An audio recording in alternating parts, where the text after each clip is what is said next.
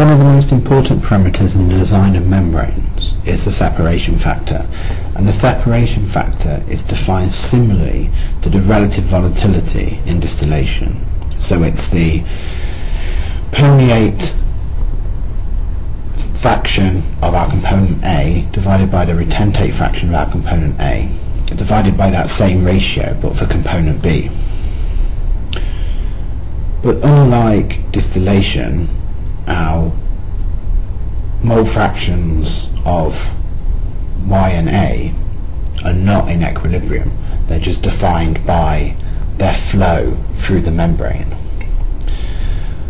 So if we have no sweep gas in our membrane, then the ratio of the fluxes passing through our membrane defines the composition of the permeate.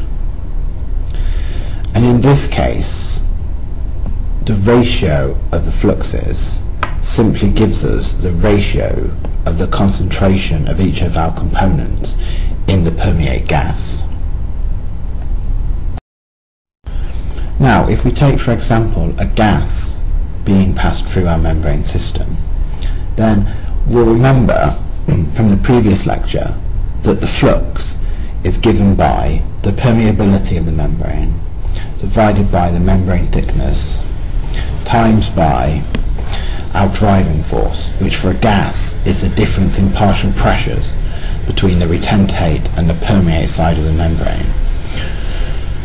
Or can be written as the mole fraction on the feed retentate side of the membrane times by the pressure on that side of the membrane minus the mole fraction on the permeate side of the membrane times by the total pressure on the permeate side. We can write one of these equations for the flux of each of our components in our system. And then we can also say that the ratio of these fluxes is just simply given by the ratio of the permeability of our membrane for each of the materials and the driving force for each of our components. Often the permeate pressure is a lot less than the feed retentate side pressure. So if we assume that the permeate pressure is actually negligible, then we can cancel out the terms relating to the composition in the permeate times by the permeate pressure which just leaves us with our flux being dependent on the permeability and the mole fraction of each component under pressure on the feed retentate side. And we also know that as we have no sweep gas, our ratio of fluxes must be equal to the ratio of the compositions in the permeate. Therefore, we can rearrange this equation into the form for the separation factor. And this produces an ideal separation factor where the ideal separation factor given by alpha star is just e equal to the ratio of the permeabilities of the membrane for each of the two components. However, if our permeate pressure is not negligible, then we can't remove that from our equation. Though we can still rearrange ratio of fluxes into the separation factor. And in this case, we generate a separation factor in terms of our ideal separation factor that we've just seen, the ratio of the composition in the retentate side and the permeate side of our component B and the pressure ratio which is just the pressure on the permeate side divided by the pressure on our feed retentate side of the membrane. It's then convenient to write this ratio of mole fractions between the retentate and the permeate side for component B back in terms of our original separation factor equation. If we do this, we then generate an expression for our separation factor in terms of our ideal separation factor, the composition of our component A on the feed retentate side of our membrane and our pressure ratio. This is an implicit equation for the separation factor, but it can be easily solved either just by using something like Solver in Excel or the equation can actually be rearranged into a quadratic equation and solved explicitly. Now, if we're trying to design our cross-flow membrane, as the composition changes as we move across the membrane, we can't just rely on a total mass balance. We also need to think about a differential volume elemental mass balance. So for this we can say that the, the fraction of our component in the permeate with a change of flow rate of that permeate is essentially given by the change of the material that passes through our membrane which is the change in composition and flow rate from our feed retentate side.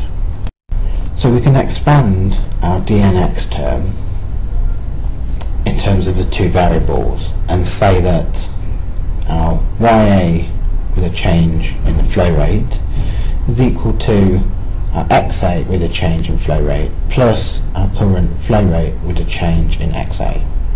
And we can rearrange this to give a differential equation.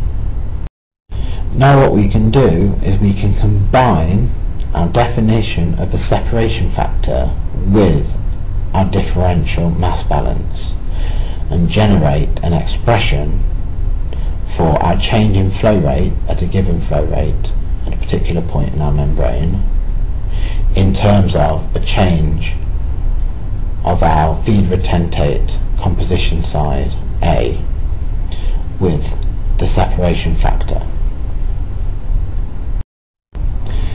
Now, if we assume that our separation factor is constant over the entire cut, and this is generally true, especially when our pressure ratio is small, then we can integrate our differential position from a random position where we have a composition XA and a flow rate N to our final retentate composition and retentate flow rate. Now the mole fraction of A found in our permeate is obtained by integrating all of our values across the length of the membrane for our change in composition of the permeate product and the change in composition of the flow rate. So what we can do is substitute in our differential equation for the change of flow rate and substitute in the integral of that to produce an expression to be integrated with respect to the mole fraction of our component A on the feed retentate side of the membrane to be integrated between the mole fraction entering in the feed and the mole fraction of A leaving in the retentate.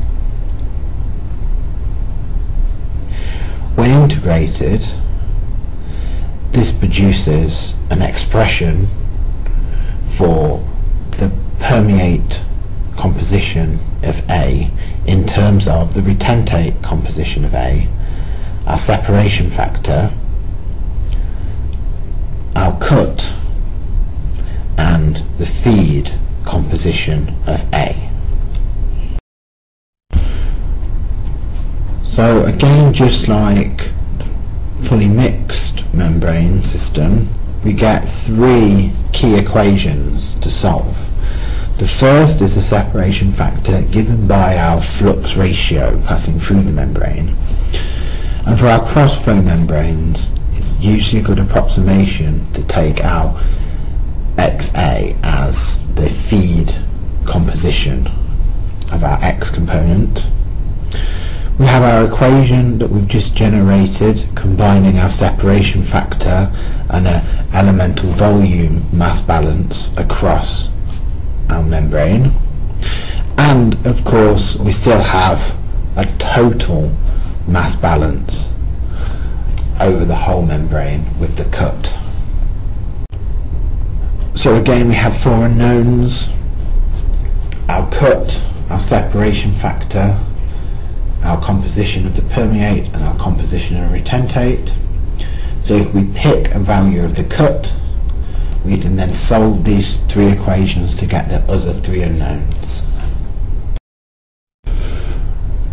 So the differential rate of the mass transfer of our species A across the membrane is given by the, the flux times by a small change in the area of the membrane. So if we want the total membrane surface area, we can obtain this by integrating between our feed composition and our retentate composition.